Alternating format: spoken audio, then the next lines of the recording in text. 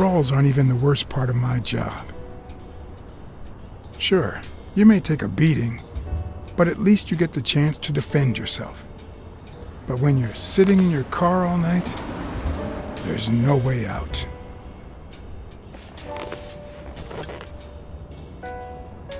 Your legs cramp up, your back and neck feel stiff. Your entire body aches to be somewhere else. It's boring and repetitive.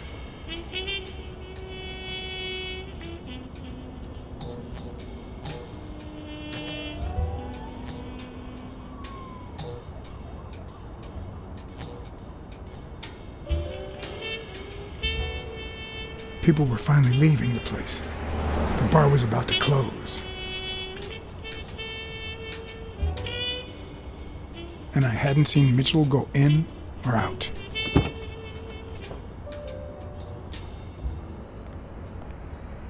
No choice.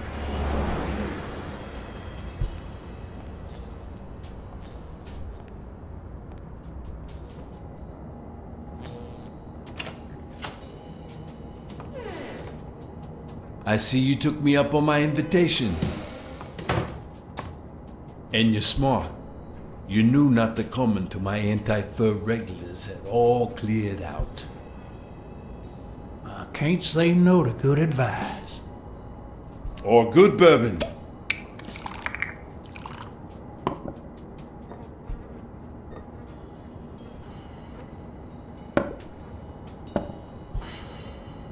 Here's looking at you, Mr. Uh, what was your name? As far as I knew, La Iguana always stayed neutral. He played poker with Cassidy.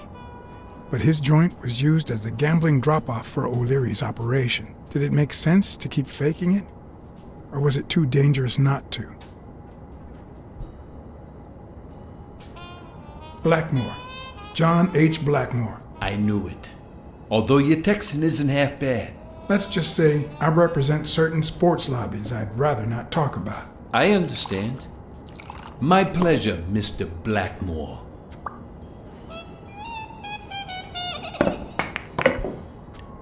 You're natural. You're even better at pool than poker. This is much easier. No one can cheat. You barely flinched when Cassidy decided to teach that ego a lesson. What do you want me to say?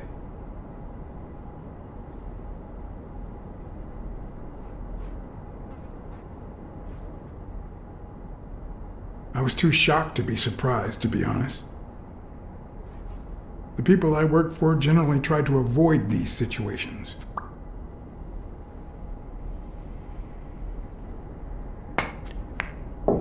Damn it. Well, nobody's perfect. Tell me, what do you really want with Cassidy? I just don't understand your motives.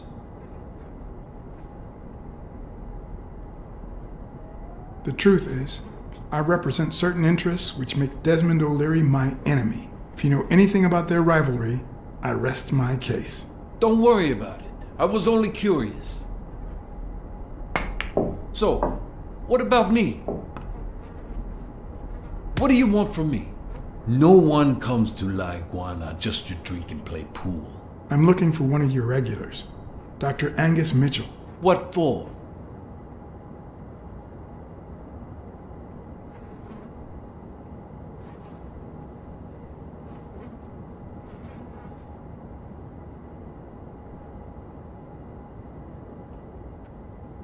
We fought together during the war. I just want to say hi. Sure. Tell you what, I'll talk to Mitchell. Come back tomorrow night. You don't understand. I have to talk to him, or else. Or else what?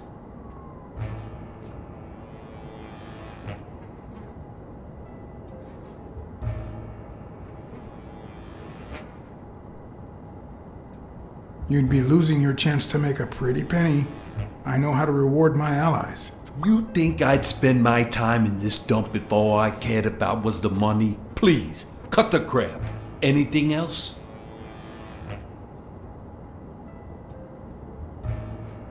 I've got friends in high places. Friends you don't want to meet. Oh, and you don't think I do? You think this dump would still be open otherwise? Please, Cut the crap. I hate to say this, but you're running out of options. I don't think Cassidy would be too happy about the role his poker buddy plays in O'Leary's gambling operation. I'm sure you understand that. Son of a bitch. All right. Give me your phone number, and I'll give you a call when Mitchell shows up. No. You're gonna call him right now, and you're gonna give him this message. But when you're sitting in your car all night, there's no way out. Your legs cramp up, your back and neck feel stiff, your entire body aches to be somewhere else. It's boring and repetitive. It's so bad that your thoughts spiral in a never-ending loop. Like when you're stuck in your car, on surveillance duty. The owner of La Iguana was supposed to tell Mitchell that a certain anteater was still alive, and that it was only a matter of time before he ratted him out. With a bit of luck, that would make him nervous enough to force his hand. Now all I had to do was follow him.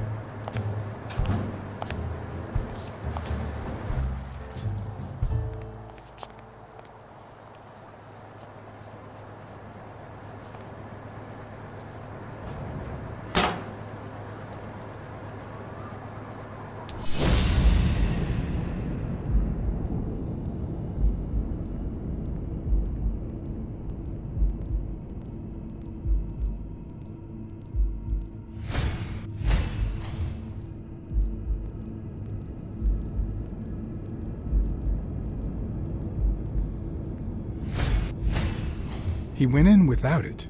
I wonder what's in it.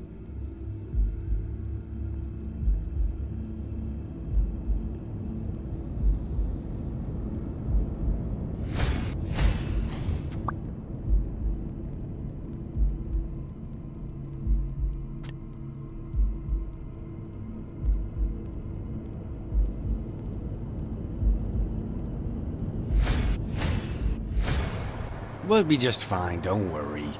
Gil, stand guard right here. If the cat shows up, you know what to do. I'll be back in an hour.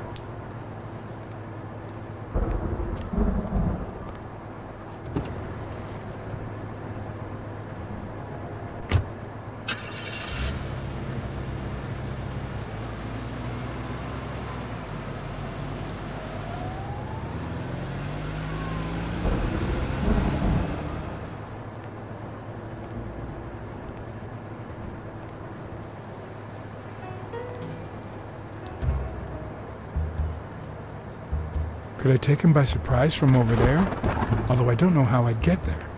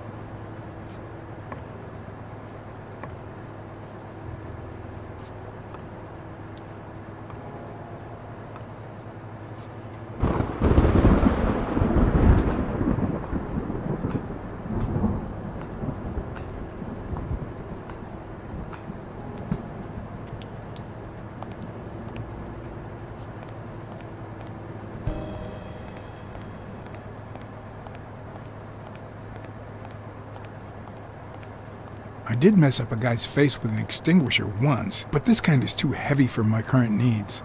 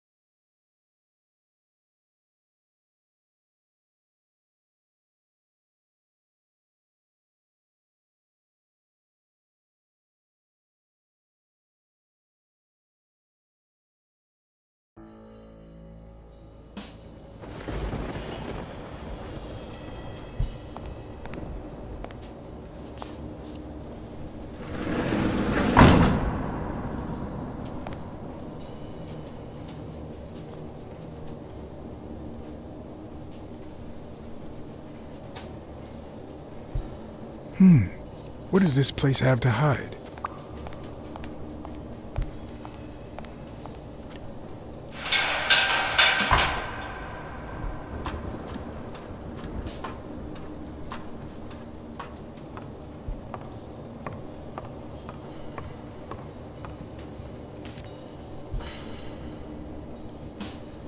A dream catcher. It's supposed to protect children during the night trapping all evil in its spider web. I'm not mistaken, these are incense sticks, used in cleansing rituals.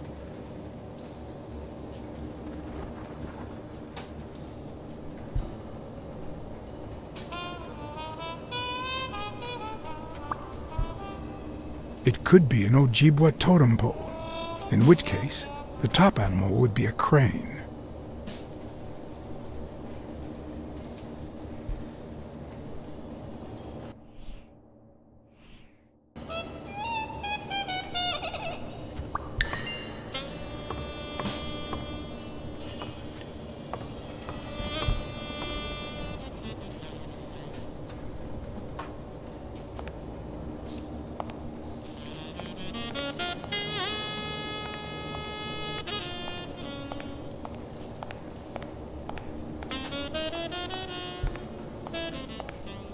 According to this, the warehouse belonged to a Canadian import company.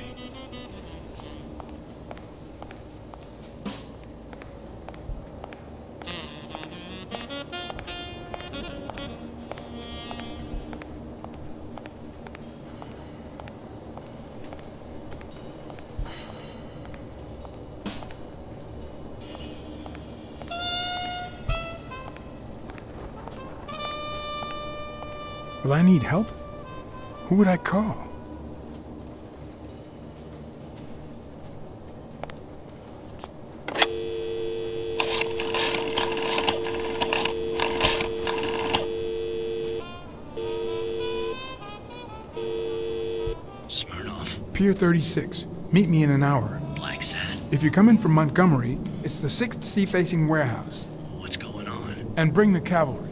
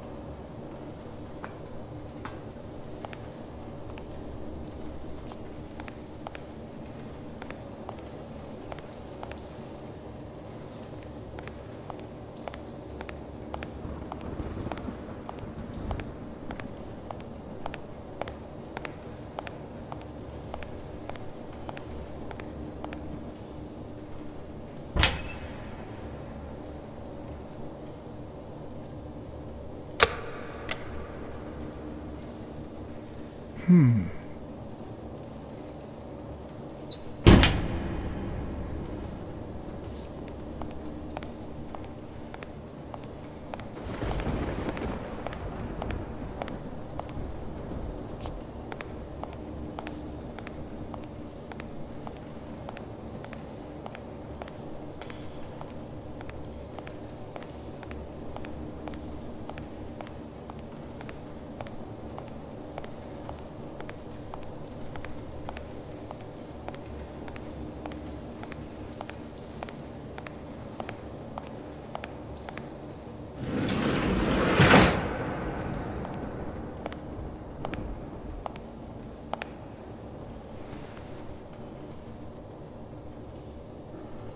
Don't you even think of screaming. I might not even talk.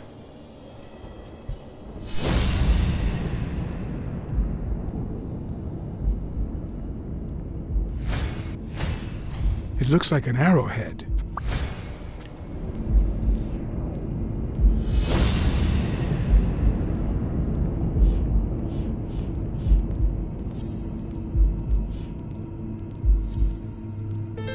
Everything seems to prove that Gil is a Native American, and I'm almost sure that the woman in the picture is his mother.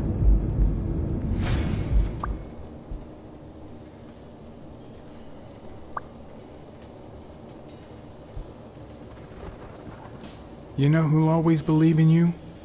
Your mother. My mother never lost her faith in me. And I gave her plenty of reasons when I was a kid.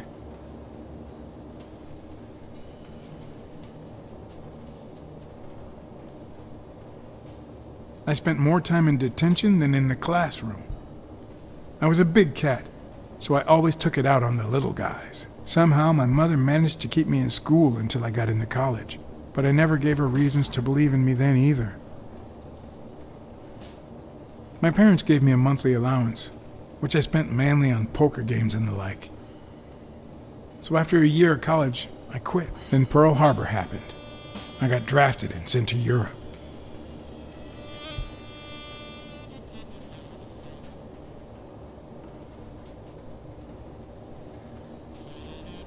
They told me killing was my moral duty, but I discovered it could be addictive. Not all victims were Nazis. But when I got back, I was treated like a pariah, a veteran outcast who never should have come back in the first place. And yet, my mother never ceased to.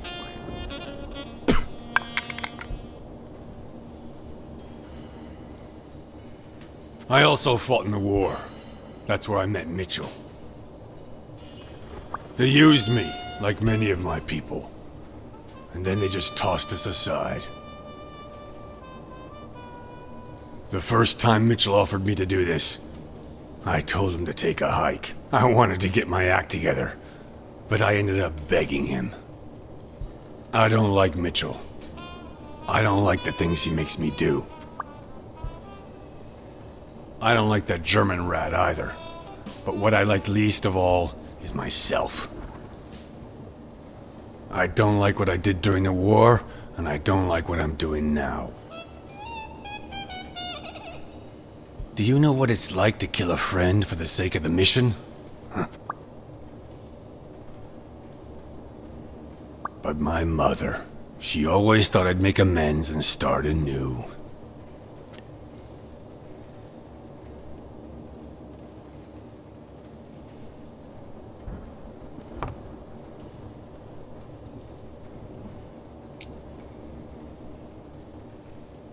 Maybe it's time I did just that.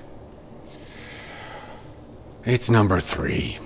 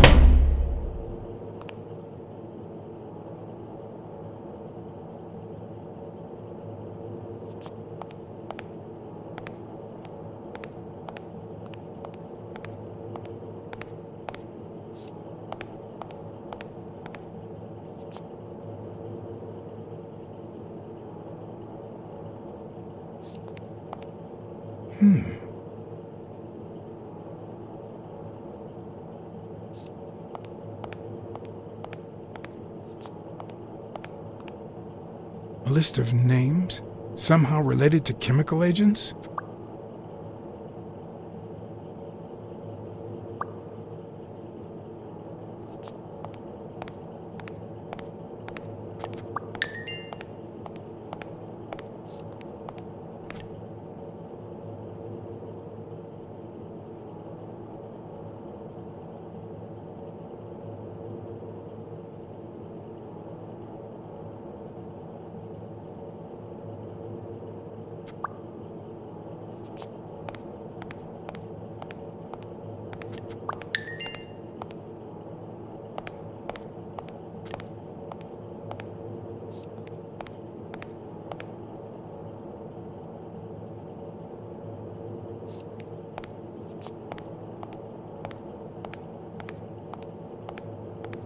Um.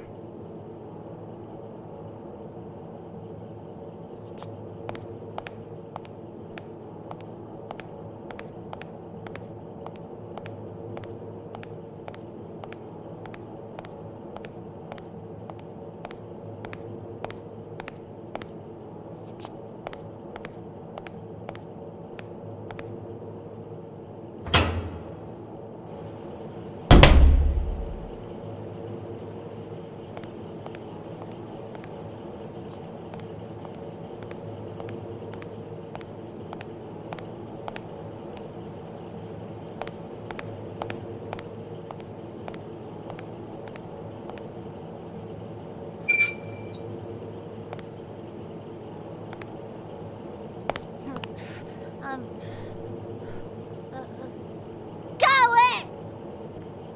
Hey, You it's all right. Don't be afraid, little girl.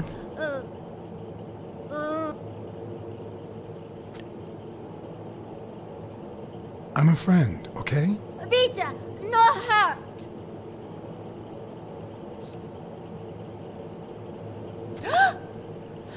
Ah!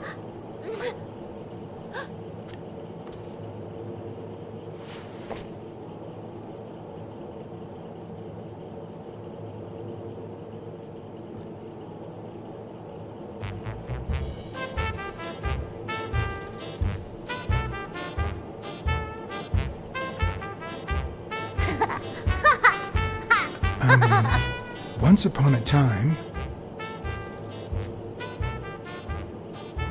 Once upon a time, there was a brave, seafaring little girl called. Brunhilda! Hi, my name is Brunhilde, and I'm very happy. said Brunhilde. And then Brunhilde, who had a beautiful name, Really beautiful. a really beautiful name, ran into someone very special. Oh, who was it? A sea cat called John. I'm a sea cat. My name is John. Hi, John the cat. I really like sea cats. Hi, Brunhilde. I'm going to use my seafaring wisdom to help you.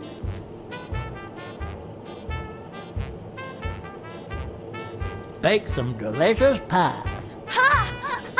I love pies. Which is your favorite? Wow, that's a very hard question. But John the cat, it's the easiest question in the world. Let me show you how easy it is. My favorite pie is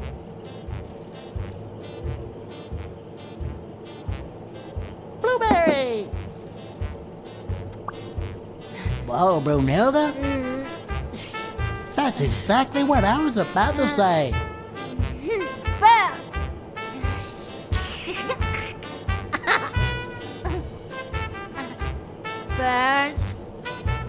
John. Brunhilda. Freund.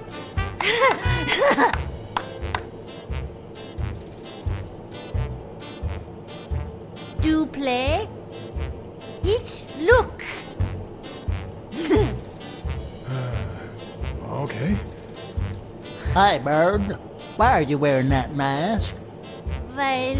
mm, Uh, gas. Uh, well, maybe we should get out of here. What do you think, Bird? And what about you, Brunhilde? Don't you think that? Uh...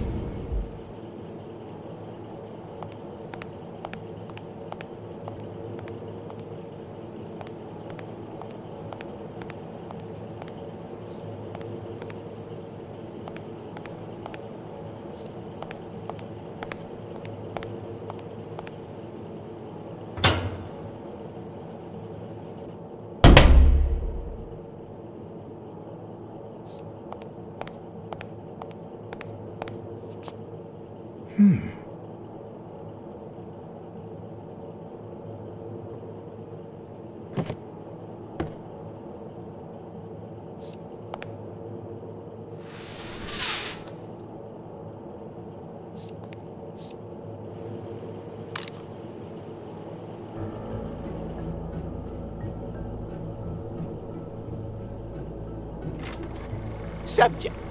Brunhilde Gruner. Treatment, day 1500. The patient's ability to speak continues to diminish.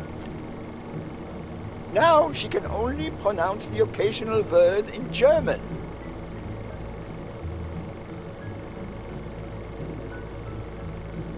Tissue degeneration persists.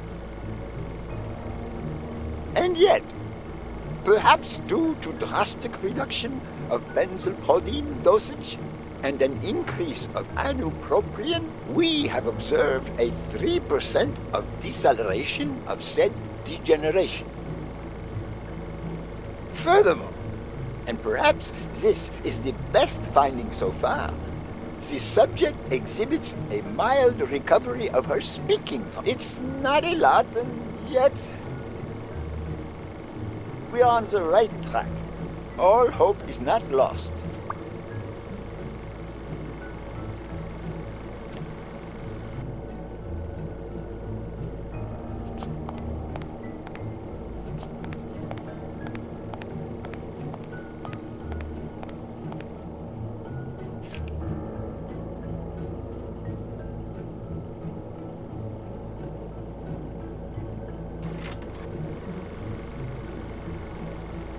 Subject, Craig Spano. Treatment, day zero. The subject is a veteran baseball player who has lost speed, strength, and agility due to the regular aging process. The patient refers intense pain on the right scapula, most likely caused by an old injury. The goals of our medical approach are twofold. To relieve pain caused by the prior injury so that the subject can play without symptoms and to help the patient regain the physical condition lost in the aging process, thus allowing him to perform at elite levels. Treatment. Day 120, the patient no longer feels pain when using his right arm, circumstance that allows him to pitch without fear.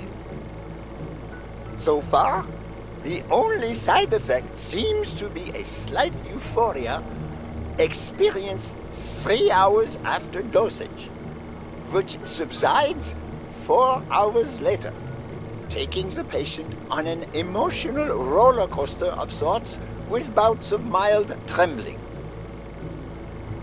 Treatment. Day 341.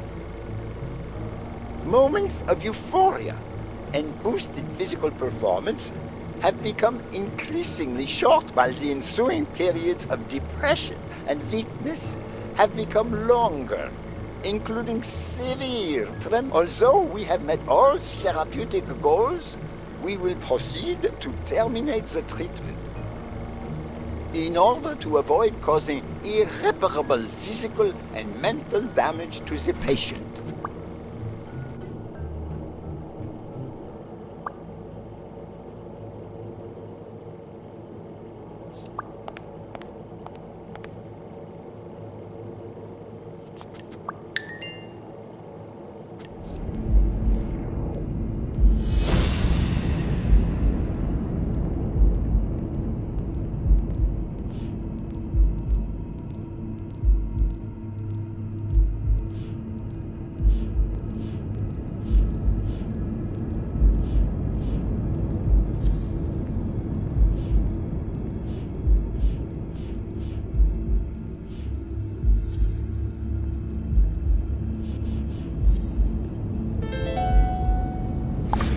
Mitchell is cashing in by selling drugs to enhance athletes' performances.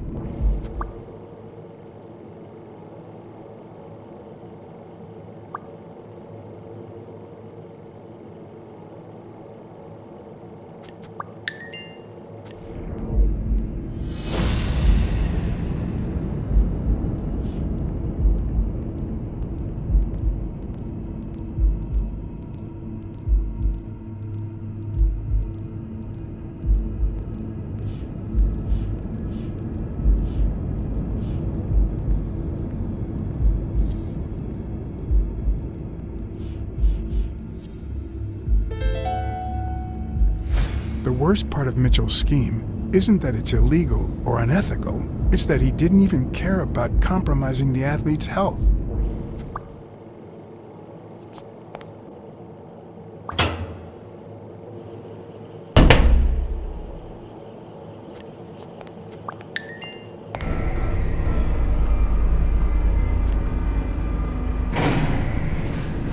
Gil?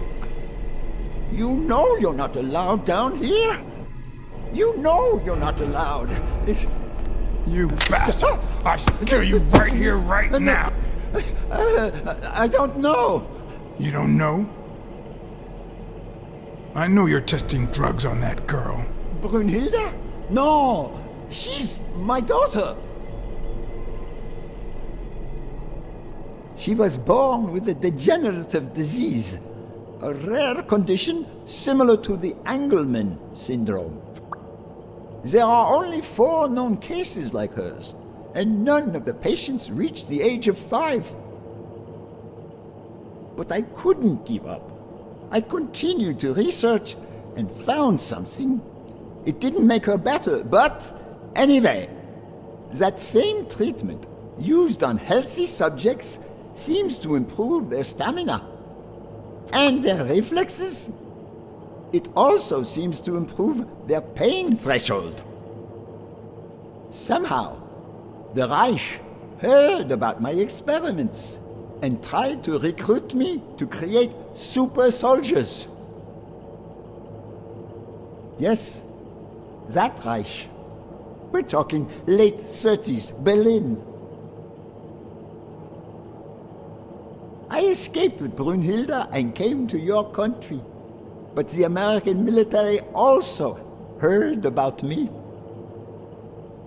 I spent the entire war experimenting with drugs on soldiers. Some were highly effective, I must say. When the war was over, my experiments were discarded. I was forbidden all access to the drugs, and Brunhilde got worse. But then God sent me Angus Mitchell.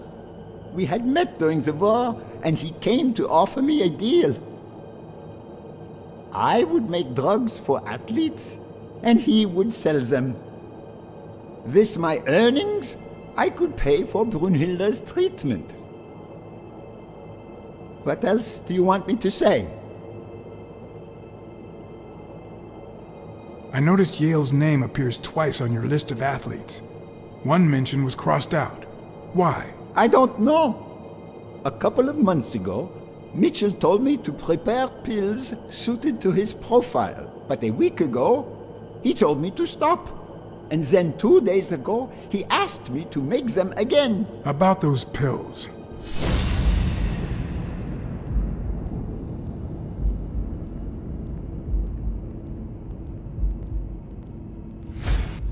What is he looking at?